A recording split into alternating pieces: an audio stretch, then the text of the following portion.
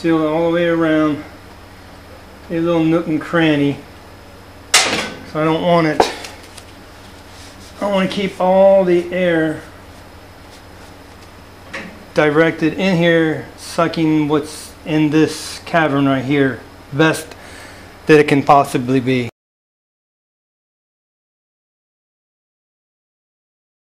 Welcome to the Shack I'm Rick. This video is the fourth and final video of the Frankenstein or like Angry Bunny would call it the Frankensaw build. Tearing it apart, getting it to work, making the zero clearance. Now this video is trying to fabricate some type of dust collection for this 55 plus year old table saw. Enough said, let's get to it. Now as you see, this is completely open. It's got a plate down here that's angled, so all the dust, sawdust would just slide down here. There was no dust collection whatsoever. Now if you look down here, let me take this off. Now hopefully you can see down in here. This is all open, there's nothing down in here. My thought process, I spent some time at the store today get down underneath here see if you can make it any easier.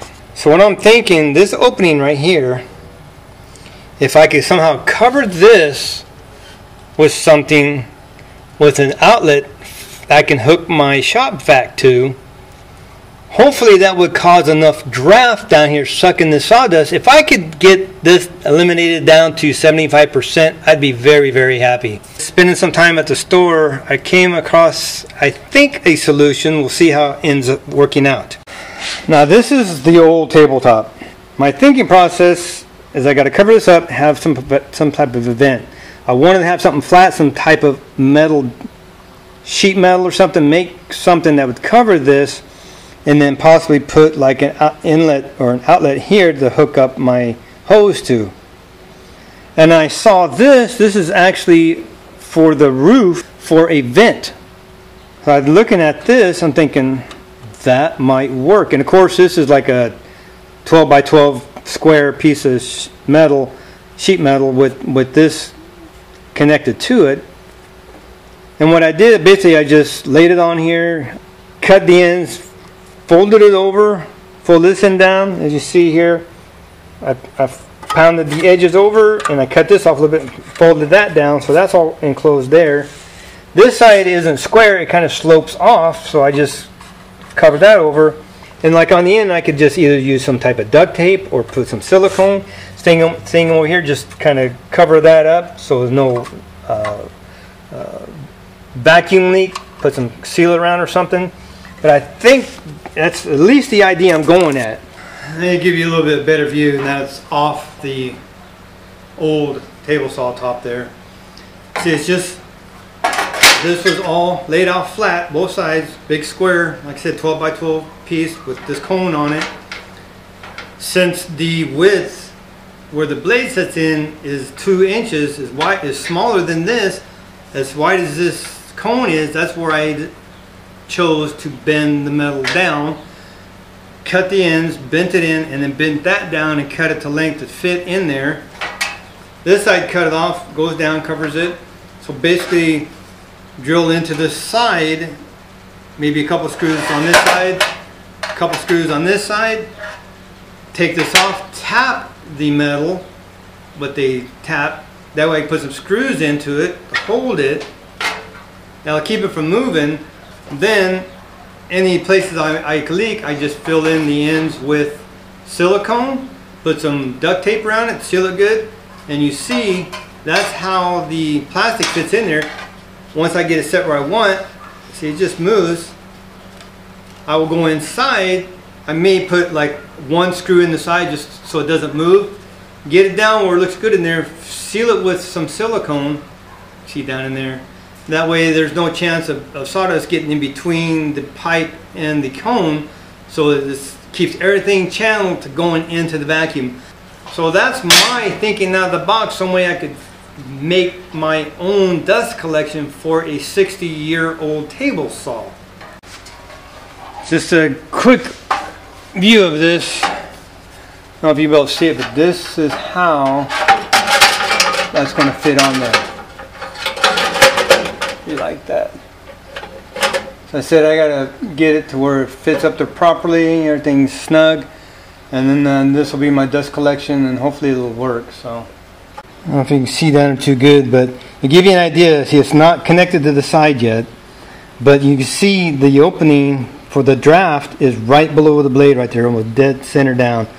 I, I'm, I'm really hoping this is going to work out well. Thought I'd give a quick little update on my attempt.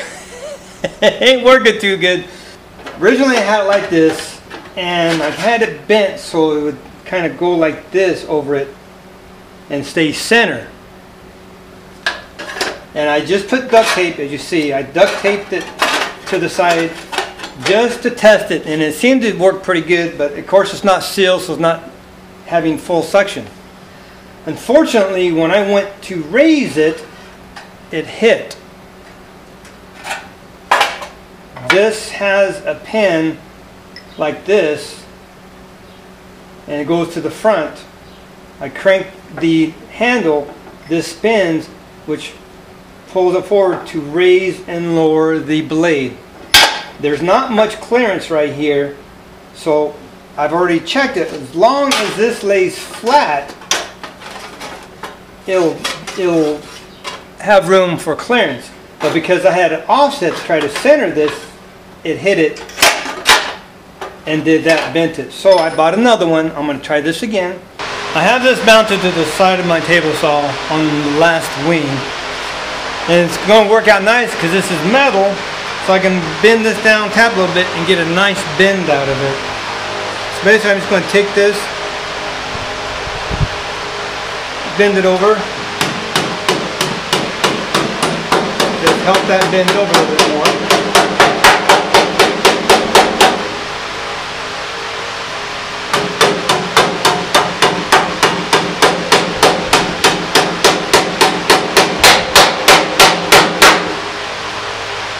Now I went and checked it out.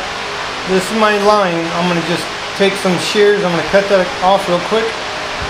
And this side will be done. Then I can start folding the other sides in and getting it to where it should fit. Dust collection modification. because I have to offset it, that's the width of where the saw blade goes into. So I have all this extra. So I'm going to do I'm going to block it off. I'm making this little plate to fit in here. A little more trimming here and there so it fits in good. This will all be bent over, but this is going to block it. So when I bend this over, I'll have to bend a little bit, do whatever to get it to mount to the to mount underneath there. But this is going to restrict airflow to just this part right here. This will be blocked. And I'm going to put caulking in here. Put caulking all in here. Put this down, put some metal screws in here. But I got a little bit more shave off this so it's right. It fits in there good. And that's what it's going to be like mounted in there. It's going to be like a little deflector. So hopefully, like I said, the much, the more I can restrict loss of air flow and keep it directed right where I need it, better off I'm going to be. That's what it's looking like so far. So I got a little bit more shaving.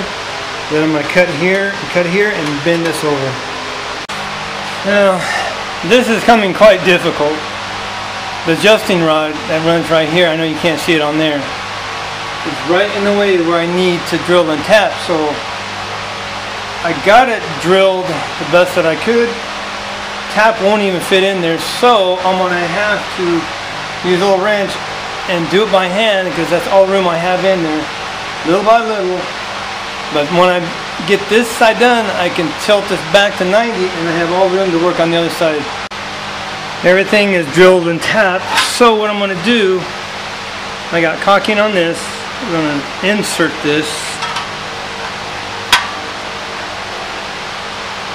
Put the screws in and then I'm going to put caulking around this just to make sure it's sealed then I have to put caulking on the edges here and here put it up in there when it's in there then I'm going to go around the top seal and around the sides and everything and caulk it and it'll be done. But before I do that, I'm gonna make a, I'm gonna clean the tools off the top. And again, I'm gonna make a couple of cuts to see how much sawdust is down here. Get this up in there, seal it. I'm gonna make a couple more cuts and I'm gonna see just how much sawdust is at the bottom. Got all my tools cleared off and I'm just going to run a 2x4 through and cut like five cuts just to see what kind of sawdust we have at the bottom here.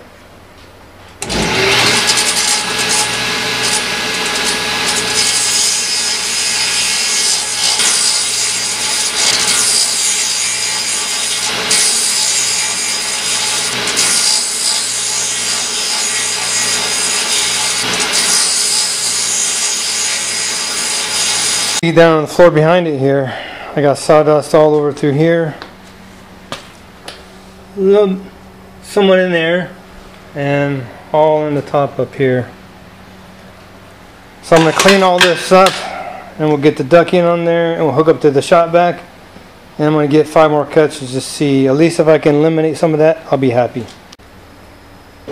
I got the ducting all screwed on all caulking around and I'm finishing some of the caulking around the edges here. And I'm actually going to put some duct tape from here up and up and over kind of seal the ends. The hardest one's going to be in the front where I have to go underneath here or climb inside this cabin again try to get that and tape it up.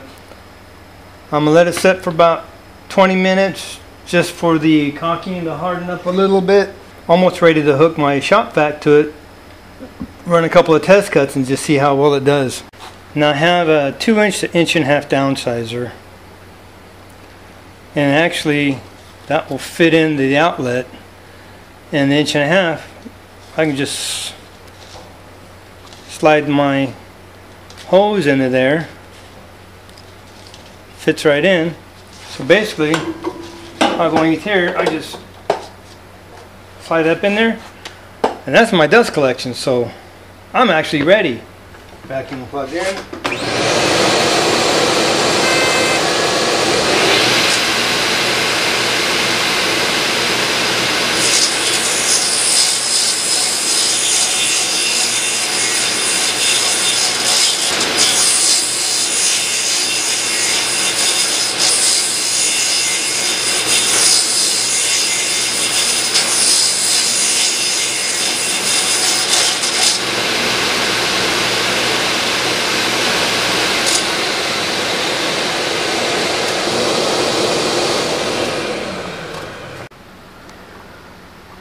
There is absolutely nothing. That is actually collecting, I would say, 90 plus percent. Even on top, a little bit here. Nothing like there was before. But there's literally nothing inside here. See? There's absolutely nothing in there. Dang! It did better than I thought it would.